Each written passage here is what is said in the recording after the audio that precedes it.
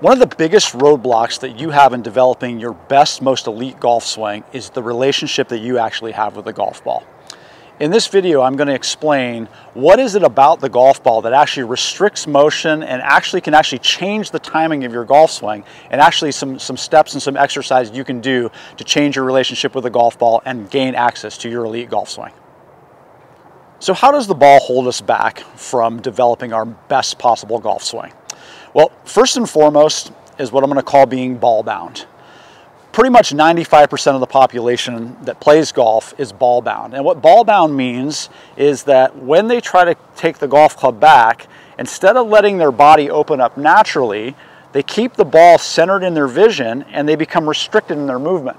Instead of being able to make the requisite amount of turn to have the unrestricted free motion required to actually strike a golf ball, they get about halfway back and then it has to be a lift because they're trying so hard to keep their, their eyes centered on the ball.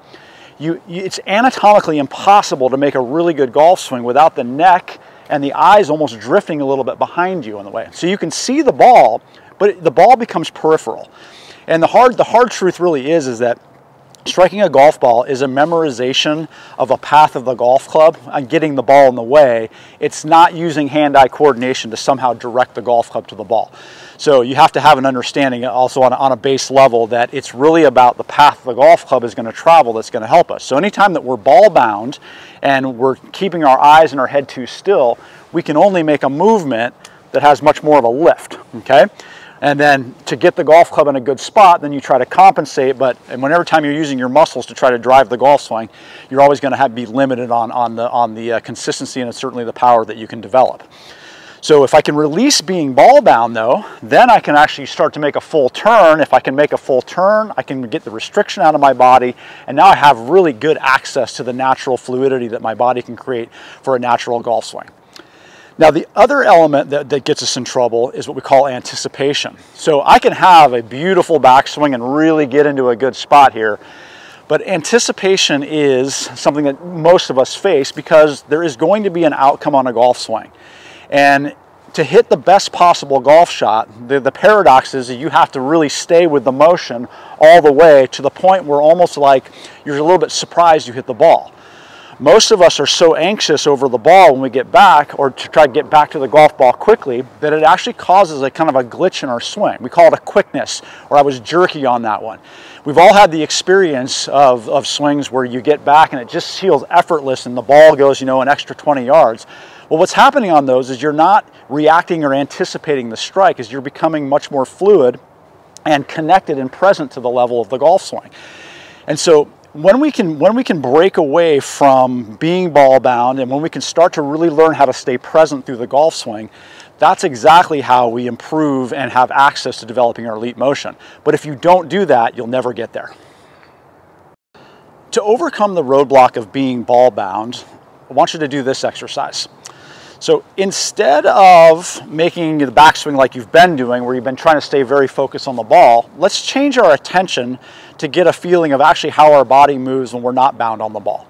The best way to really unlock your most unrestricted backswing, to have the potential to have the best possible fluid motion coming forward, is to get your eyes to help you in a different way. So since your eyes are hindering you when you're staying ball bound, our eyes can actually help us if we trace the golf club.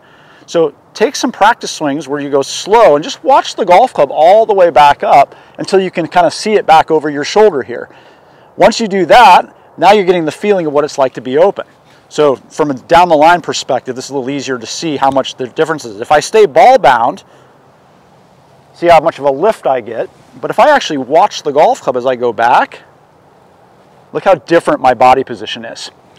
Once you've do a couple where you can go back and you just watch the golf club. Stay there for a second and just rotate your neck back down to look at the ball. And what you'll find is when you get to here is that the ball looks like it's over your lead shoulder. So I don't perceive the ball anymore centered in my vision, but I see it peripherally and it feels like it's over my lead shoulder. And now I'm in a spot where I can really make a nice movement, okay? So that's the easiest way to, to, to get a connection to that. So after you've done watching the golf club, and turning your head back, then just see if you can simply take a backswing with your eyes down but try not try to let the ball go into the peripheral of your vision instead of trying to hold it hold it as, as still as possible. It'll take a little bit of practice, but once you get used to that, you'll get more and more comfortable with it. Once you're comfortable with that, then you're going to have that access to that good path. To overcome roadblock two, which is to anticipate the strike, the, the exercise I want you to do is very simple. We're going to have our regular golf ball that we're going to be hitting, but what we're going to do is we're going to place a secondary golf ball about two feet behind it, directly on an extension of the target line. So I'm striking the ball this way, but I've got another golf ball back behind the other ball. And what this is going to do, this is going to give us something to occupy our attention, so we get better at staying present through the through the through the uh, through the transition and in the forward swing, where all the magic and the good stuff happens. So the first thing I want you to do is set up to the set up to the side of the ball. we're just going to do a rehearsal here. Now the object in this exercise here is very simple. Keep your eyes on the back ball all the way up and all the way down until you're aware you struck the golf ball or the club has gone past the impact zone, and then your eyes can kind of drift to where it goes. Again, we're trying to get rid of that idea that I'm getting my eyes back to the ball quickly, which causes me to, which can cause my muscles to tighten up and change the path of the swing and really corrupt the, corrupt the fluidity of your, of your best golf swing. Now, once you've done a couple rehearsals where you're comfortable with the idea of kind of swinging through, keeping your eyes on that back ball, now we're gonna go ahead and do that with the golf ball. Start slow though. Don't try to hit the golf ball as fast as you can or at full speed. It's a little bit weird kind of looking behind the ball, but this really does help us get a better sense of keeping our attention in the right spot. So I set up to the ball, and then as I start back, I'm focusing on the back ball, and I come through nice and fluidly, and then once I strike the golf ball, then I'm gonna go ahead and see where it goes.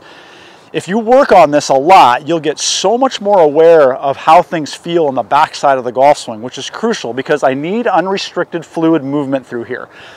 I can't strike a golf ball if I tense up and I have anxiety about what's going to happen in the future. And as you learn how to overcome that anxiety, that's exactly what will give you access to your elite golf motion.